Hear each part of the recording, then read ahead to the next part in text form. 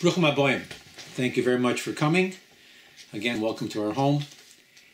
The um, the lecture this week. Last week we ended um, the uh, discussion, our thoughts with the Gid Hanosha, the sciatic nerve, where Yaakov was struck by the angel, again Esav's angel, and its connection to children. So again, let's continue with this idea of listening to God. Again, this is our third lecture on it. The Torah tells us that we are forbidden from eating from the sciatic nerve that is found in the hindquarter of an animal. In most places, Jews only eat from the front half of the animal. Uh, the removal of the vein is tedious, and it's also difficult work, so it's just easier uh, to sell the back half of the animal to non-Jews. Of course, such cuts as the filet mignon, T-bones, and other tasty cuts are found in the hind quarter. Now, in Israel today, you can actually order these cuts. So the Gid Hanosha, the sciatic nerve, can be removed but with difficulty. And I think this is an allusion to our children. All children are important. Some are just more difficult to reach than are others. But just like in the state of Israel, where we are able to enjoy the hind cuts granted with difficulty and a higher price tag. So too, we need to deal with all of our children, especially the difficult ones, because the results will be spectacular. Many are diamonds that are just waiting to be polished. Most of the treasures in life are hidden. They require us to dig deep into the earth and even get a little dirty doing so. We see that God had Yaakov wrestle with Esav's angel all night. Yaakov is victorious. He regains his confidence and he's no longer afraid or distressed. He has defeated Esav's angel, and now he is prepared to meet Esav himself. However, before he will let the angel go, Yaakov demands that the angel bless him. But why? Really to teach us that whenever one was one is in a situation that is difficult, one cannot leave that place without a blessing learn something. Take away a lesson in life. Grow. You know, good judgment comes from experience, and experience comes from bad judgment. The angel tells Yaakov that his name will no longer be that, which comes from the word Akev, which means heel, alluding to a lowly person. From now on, the angel says that his name will be Yisrael, as it says in Vayishlach 32:29, for you have become a prince among angels and man. He would no longer be seen as he heals someone devious, but Yasher Kel, one who is straight and upright before God. We are told that the trait that God admires the most is humility. One who sees himself as lowly, then God raises him to the greatest heights as we say in the morning prayers, Magbiah Shvolim, he who raises those that are lowly. You know, I found it interesting that in English, the foot is next to the soul. Now, getting back to the original story of the meeting of the two brothers after 36 years of being separated, Yaakov knows that his brother Esau is coming towards him with an armed band of 400 men. He does not want to fight. He wants to defuse the situation. After all, win or lose, he understands that war has to be a last resort. And so he analyzes the situation for openers. Esav is still his brother. And again, he did dupe Esav out of his birthright when they were younger. Then, when they were older, he took advantage of his father's blindness and deviously took the blessing that Yitzchak, his father, had intended for Esav. In addition, he knew that there would be illustrious converts. There would be Esav's descendants, and he didn't want to prevent that from happening. So not only his fate and the fate of his family were at stake, but the survival of the whole Jewish nation hung in the background. What does Yaakov do? Well, he addresses Esav's anger. he praises him. He acknowledges his position as the older brother. In fact, he refers to him as Adoni Esau, my master Esau. He sends him gifts, spaced out to make the presentation even grander. He plays down the wealth that he has amassed while working for Lavan, and he instructs his servants who would present the gift to Esau to refer to himself as Avdecha Yaakov, your servant Yaakov. His intent was to inflate Esav's ego in front of his friends and his associates. Yaakov makes Esav look like a very special person in the eyes of his troop. Then, when they finally do meet, Yaakov moves towards Esav, bowing seven times with humility, but at the same time with an air of confidence. He was successful. Instead of battle, what we see is the two brothers fall on each other's necks and weep. An important lesson in diplomacy. The results were that Yaakov was able to diffuse a, vile, of, a volatile situation. He did so by understanding the concerns of his adversary. He did so with logic and reason, putting Esav, putting, pardon, putting himself in Esav's place. In fact, the fact that he had been duped by Lavan on his wedding night, he thought he had married Rachel only to find out that Leah was his bride instead of Rachel. But that may have helped him to understand how his brother may have felt after he took his blessings. So he saved not only himself and his family, but the future of the whole Jewish nation. What about God? Well, God helps those that help themselves. We need to use the gifts that God has given us to live naturally in a natural world. In fact, the word Bereshit bara Elokim, that God created, the word Elokim is the same numerical value as Hateva, which is nature. God created nature. As long as we put all of our efforts in what we try, God will always be there to support us. Always remember, what we own is effort. Success belongs to God. We see that when the two brothers part, Esau offers to travel with Yaakov on his way back to his father's house. Yaakov politely declines and says he really doesn't want to slow Esau and his party down. The young animals in his herds and his young children move very slowly. He tells Esau to go ahead and that he would join him in Seir, the area that Esau and his family lived in. In reality, Yaakov never intended to go that far. He only intended to go as far as Sukkot. Rashi quotes Yaakov as saying that if he, Esav, intends to do me harm, let him wait until I come to him. So from Yaakov we learn the important lesson in life respect, but suspect. We always need to be awake at the wheel. One never knows when a sharp curve shows up. A friend today can be an enemy tomorrow. So, what does listening to God teach us in this story about Yaakov and his life? We need to learn to be diplomats, looking at different situations and analyzing why a problem exists and the best possible solution. We also need to look at people that are involved in our lives, learning to diffuse difficult and possibly explosive encounters. We need to study our adversaries. Pushing problems off doesn't make them go away. More often than not, they just get worse. We need to communicate with each other. One reason for the division between Yosef and his brothers was stated in the portion of Vayeshev 34, pardon me, 37 4, where it states that they hated him and could not talk to him peacefully.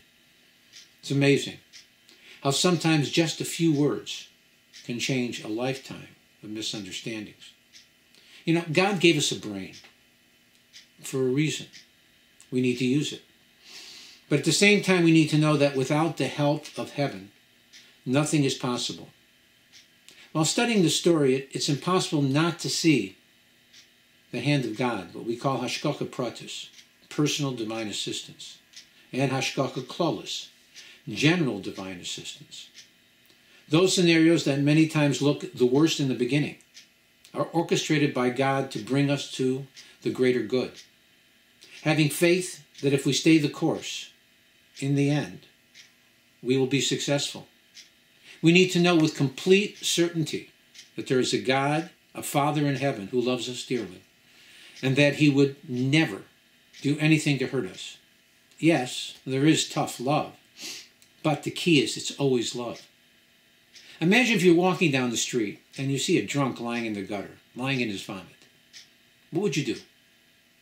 Probably shake your head and think what a waste of humanity and just walk on. What if the person in the gutter was the son of a friend of yours? Well, then you might stop and try to see if you could be of some assistance in some way. But what if the person in the gutter is your son? well, that changes everything. You are definitely going to get involved. You will probably grab him by the collar, pick him off the street, and drag him home, reminding him all the time that he is better than he is acting and that he needs to get his act together. It's now become personal. And so too with God Almighty, our Father in heaven. He sees us as his children, and he takes everything that we do very personal. Yosef is falsely accused of attempted rape by his master's wife. He's put into prison. There he interprets the dreams of the butler and the baker, which led to him interpreting the dreams of Paro, which would make him the viceroy of Egypt. What was it that allowed him to interpret the dreams of the butler and the baker? Compassion. When Joseph sees these two ministers in the morning, he asks them, Why do you look so sad today? I find that comical. They were in prison for a capital charge. Why wouldn't they look sad? True. But Joseph was a warm and compassionate person. He was observant. He noticed a change in their demeanor, demeanor immediately. Now, he could have ignored them. He had his own problems to deal with. But he cared about people which brought about his salvation. Even though Yosef himself was a prisoner, yet somehow he was able to see past his own difficulties and recognize the pain that a stranger was feeling, the quality of a true leader. Yosef would father two sons in Egypt. Each one individually would become a tribe of the children of Israel. Therefore, the woman that he was to marry, the mother of these sons, would be crucial. Where in Egypt would he find a proper wife? The Medrash states that after Dinah is raped by Shechem, she gives birth to a daughter. The baby girl is named Asnas, which comes from the Hebrew word avnos, meaning to rape. Somehow, her daughter is taken to Egypt and adopted by Potiphar in Egypt. The Medrash states also that when she was taken to Egypt, the brothers placed a medallion around her neck that stated that she was related to the family of Yaakov. So when Yosef was chosen as viceroy, Paro had him paraded through the streets of Egypt. His beauty was legendary, and the, some, all the young women were on the rooftops throwing their jewelry at him. Asnas also was there, and she threw this medallion at him, and he realized that she was from his family. Nothing is an accident. God is always preparing things for us. She becomes Yosef's wife and the mother of two of the tribes of Israel. So, by listening to God, looking deeply into the great gift that He has given us, the Torah, there are many important lessons that we learn about life. There is, of course, so much to learn about marriage bringing up children. It's strange, but our children should not be our confidence. We are supposed to be their support, not the other way around. It's so easy to complain about one's spouse to a child. However, it's never acceptable. It's not fair to poison a child's mind against their own parent. Child rearing should not be a competition pitting one parent against the other. Children should never be forced to choose between one parent over another. Parenting requires a unified team effort. Favoritism, it's a recipe for disaster. We must make all of our children feel special and loved. Yes, they are and should be different. Different, but not better necessarily. Every person has some quality that we can praise. If you search, you'll find it. We as parents need to compliment twice as much as we criticize. If all you've learned in this lecture is this one fact, to compliment twice as much as you criticize, you've gained a lot. When we pray to God, we need to be specific. We should not be afraid nor embarrassed to ask God Almighty for our needs. He is a father and he has a responsibility to take care of his children. On the other hand, we need to examine our prayers to see if our requests are in our best interest. In fact, the word prayer is an acronym for the saying, please respond after you examine requests. Prayer. We need to know that God always answers our prayers, but sometimes it's just not the answer that we wanted. There's a Rashi that states when King Solomon was dedicating the first temple, he made a request of God that whenever a non Jew would bring a sacrifice to the temple, and that that request should be granted.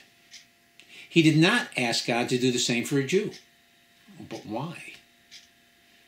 Now we've read a uh, we've read a lot about scenarios that many times people find a genie in a bottle, and they're granted three wishes.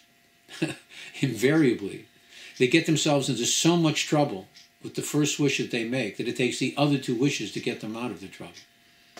King Solomon was concerned that if a non Jew were to ask God for something and it wasn't granted, then they would somehow think the Jewish God was lacking.